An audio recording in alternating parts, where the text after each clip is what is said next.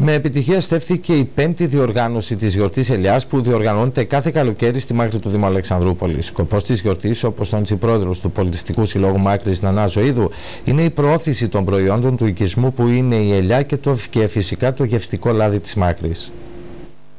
Πίστη στην παράδοση, τα μέλη του Πολιτιστικού Συλλόγου της Μάκρης στο Δήμο Αλεξανδρούπολης διοργάνωσαν για πέμπτη χρονιά την γιορτή Ελιάς. Μια γιορτή που έχει ως στόχο την προώθηση του τοπικού προϊόντος και του λαδιού της Μάκρης που θεωρείται από τα πιο γευστικά σε όλη την Ελλάδα.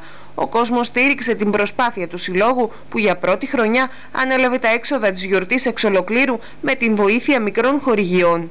Το διαφορετικό σε αυτή την εκδήλωση είναι ότι ο Σύλλογος έχει αναλάβει το βάρος όλης της διοργάνωσης με τη βοήθεια μικρών χορηγιών από συντοπίτες επαγγελματίες, τους οποίους οφείλουμε να ευχαριστήσουμε θερμά.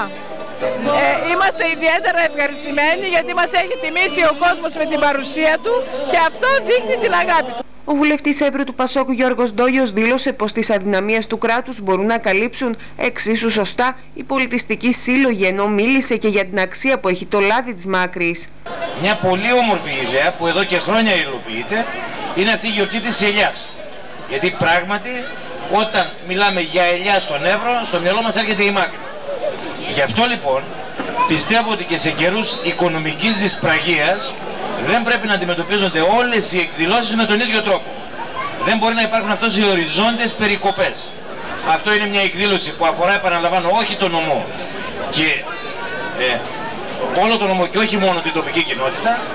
Γι' αυτό κλείνοντας αυτό το χαιρετισμό θέλω να πω πραγματικά συγχαρητήρια στην Πρόεδρο και στο Σύλλογο των Γυναικών.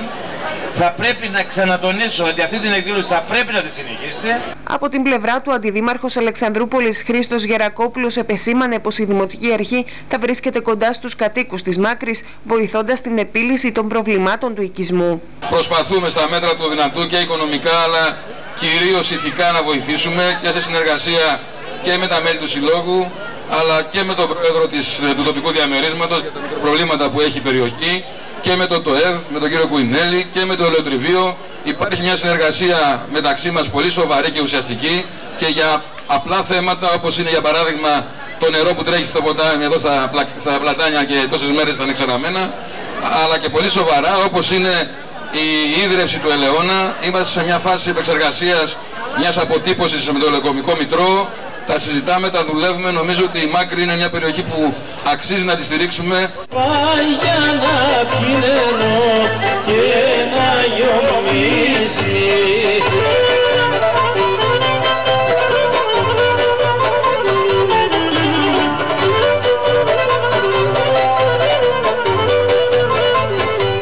Φυσικά από μια τέτοια γιορτή που τον πρώτο λόγο είχε η παράδοση δεν θα μπορούσε να λείπει ο χορός. Σαν